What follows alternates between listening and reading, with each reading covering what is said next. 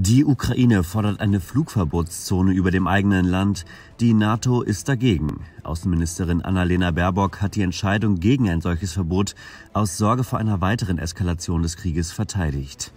Das sind die Momente in der Außenpolitik, wo man eigentlich nur zwischen Pest und Cholera wählen kann, so die grünen Politikerin bei Anne Will im ersten. Aber man trage die Verantwortung, dass dieser Krieg nicht zu einem dritten Weltkrieg führe. Ein weiteres Überschwappen dieses Krieges auf Polen, auf die baltischen Staaten, das können wir nicht verantworten. Die Alliierten seien sich einig, dass NATO-Flugzeuge nicht im ukrainischen Luftraum operieren sollten.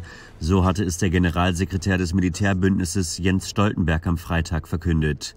Baerbock sagte im ersten, man habe mit wirtschaftlichen und finanziellen Mitteln und mit Waffenlieferungen alle Hebel in Bewegung gesetzt, um maximalen Druck auf den russischen Präsidenten auszuüben. Man sei zudem weiter im Gespräch für humanitäre Korridore. Man schaue sich jeden Punkt genau an.